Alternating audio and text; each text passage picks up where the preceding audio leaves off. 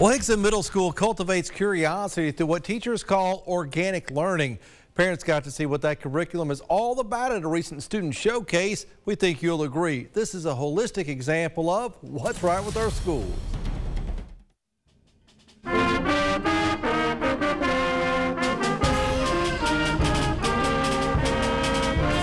You're in for a treat. So this evening we're actually being part of our student showcase night, and so we're, we're actually able to uh, showcase the awesome teaching and organic learning that's taking place in this building. This evening there'll be some performances from our strings and our chorus and band.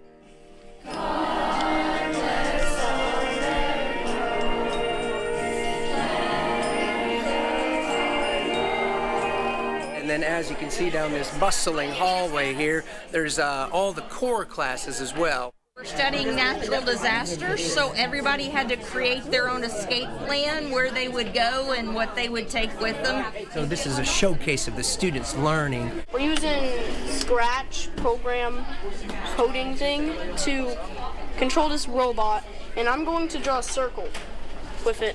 With organic learning, you are talking about being in a school environment where natural learning is going to take place, where curiosity is going to come out of engaging questions that the teacher offers through the lessons that are prepared that allow for the students to be able to explore new avenues.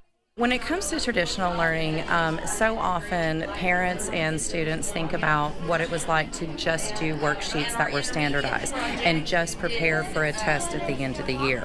Now we're in an age where people are beginning to question more, they're beginning to have more discussions, have more thoughtful um, discourse in regards to uh, the deeper conversations around what they're learning, the topics they're learning.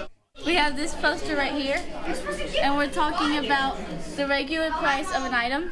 The question is the regular price of an item is X dollars, and the sales tax on an item is 6%. Which two expressions represent the total cost in dollars of the item after sales tax? My goal is for the parents to see that at one time we had students in school when they were younger completing a worksheet, doing a spelling test, getting that gold star was how we did how we determined um, that they were working hard in school. Now our students are no longer children; they're becoming young adults, and we see them growing, and we see them having to utilize things like with art for me, when I look at the art that they do with Mr. Weger, um, I see him giving them a topic and allowing them to have free flow creativity. Um, when I look at the classes, I see that these students are going to have writing portfolios that will follow them throughout their entire career throughout Hamilton County schools so that can be used as a reflection tool to see their growth and how far they've come. Now, if you know something positive that's happening in our schools, we would love to hear about that. Log on to our website. It's WDEF.com. Simply click on the What's Right with Our Schools link and fill out the form.